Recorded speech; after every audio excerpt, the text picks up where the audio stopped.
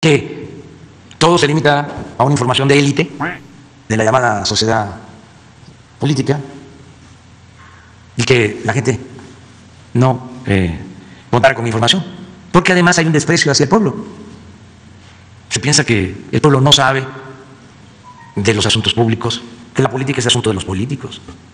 Además, imagínense un artículo de un intelectual orgánico, este, pues no lo van a entender la mayoría de la gente. Como escriben, a veces dicen, este, para que el pueblo eh, comprenda, supuestamente porque no tiene buen nivel educativo, dicen, bájale.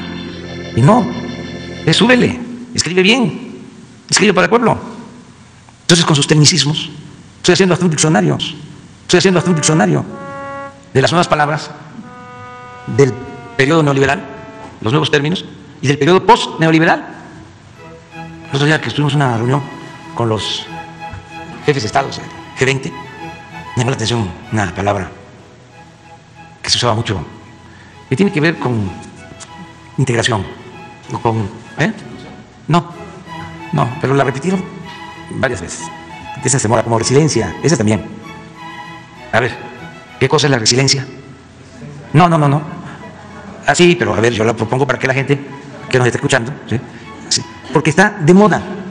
Otra que este, antes eh, no se usaba y ahora se usa mucho, empatía. Hay simpatía o hay antipatía, pues es empatía.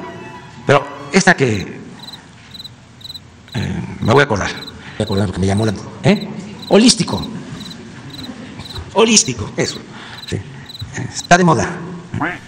A veces eh, cuestionan ¿no? el habla popular, pero es la mejor manera de que la gente eh, tenga información, hablarle al pueblo, que nos permitan seguir informando a todos los ciudadanos. Es una obligación además que tenemos como autoridad, informar.